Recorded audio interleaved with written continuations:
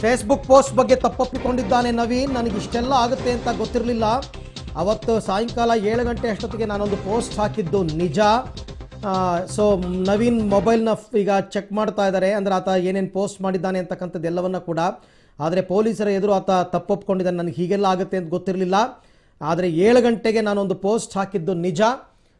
ಆ, ಪೋಸ್ಟಿಂದನೇ ಇಷ್ಟೆಲ್ಲ ಆಗುತ್ತೆ ಆಗಿದೆ ಅಂತಕ್ಕಂಥದ್ದು ನನಗೆ ಆ ಥರ ಆಗ ಇಷ್ಟೊಂದು ಪರಿಣಾಮವನ್ನು ಬೀರುತ್ತೆ ಅಂತ ನನಗೆ ಗೊತ್ತಿರಲಿಲ್ಲ ಅಂತ ಆತ ಈಗ ಹೇಳಿಕೆಯನ್ನು ಕೊಟ್ಟಿದ್ದಾನೆ.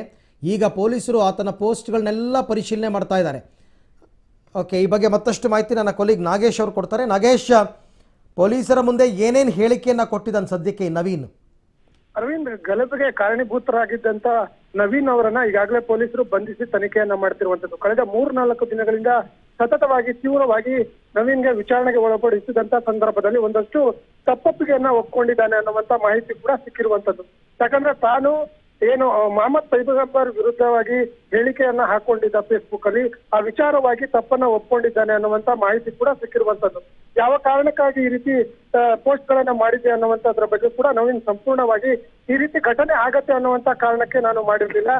ದುರುದ್ದೇಶಕವಾಗಿ ಈ ರೀತಿ ಆಗತ್ತೆ ಅನ್ನುವಂತ ಮುನ್ನೆಚ್ಚರಿಕೆ ಇಟ್ಕೊಂಡು ನಾನು ಇದನ್ನ ಆದ ನಂತರ ಈ ಗಲಭೆಗೆ ಕಾರಣವಾಗತ್ತೆ ಅನ್ನುವಂತ ಮನಸ್ಥಿತಿಯಲ್ಲಿ ನಾನು ಇರಲಿಲ್ಲ ಅನ್ನುವಂತದ್ರ ಬಗ್ಗೆ ಸಂಪೂರ್ಣವಾಗಿ ಪೊಲೀಸರ ಬಗ್ಗೆ, ಪೊಲೀಸರ ಬಳಿ ತಪ್ಪನ್ನ ಒಪ್ಕೊಂಡಿದ್ದಾನೆ ಅನ್ನುವಂತ ಮಾಹಿತಿ ಸದ್ಯಕ್ಕೆ ಗೊತ್ತಾಗಿರುವಂತದ್ದು ಅರವಿ ಓಕೆ, ಈಗ ಆತನ ಮೊಬೈಲ್ ಪೊಲೀಸರ ವಶದಲ್ಲಿದೆಯಾ?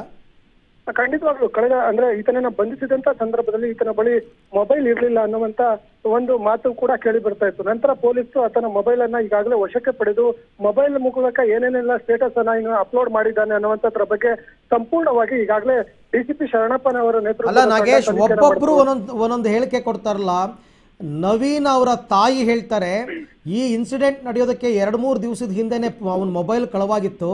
ಅವನು ಅವರನ್ನ ಹೋಗ್ಬಿಟ್ಟು ಸ್ಟೇಷನ್ಲಿ ಕಂಪ್ಲೇಂಟ್ ಕೊಟ್ಟು ಬಂದಿದ್ರು. ಆ ಕಂಪ್ಲೇಂಟ್ ಕಾಪಿನೂ ನಮ್ಮ ಹತ್ರ ಇದೆ ಅಂತಾರೆ ಮತ್ತೆ ಈಗ ನವೀನ್ ಮೊಬೈಲ್ ಹೆಂಗ್ ಸಿಗಕ್ಕೆ ಸಾಧ್ಯ ಪೊಲೀಸರಿಗೆ?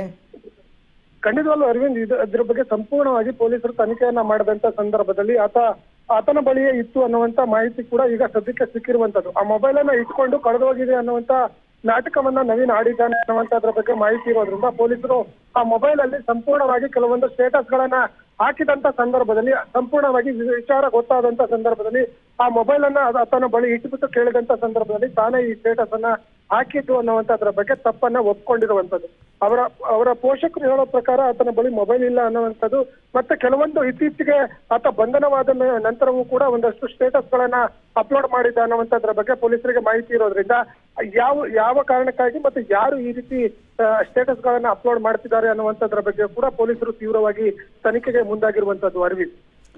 Okay thank you Nagesh ತಮ್ಮೆಲ್ಲ ಮಾಹಿತಿಗಾಗಿ.